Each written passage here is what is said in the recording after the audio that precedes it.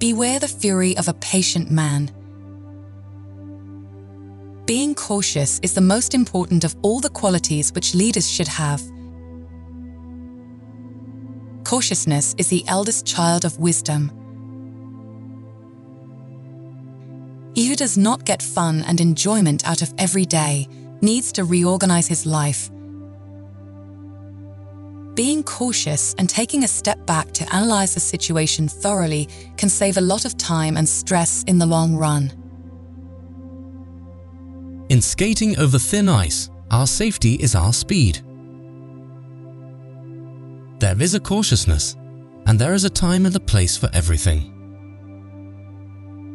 Cautiousness is the parent of security and security, when carried to an extreme, becomes slavery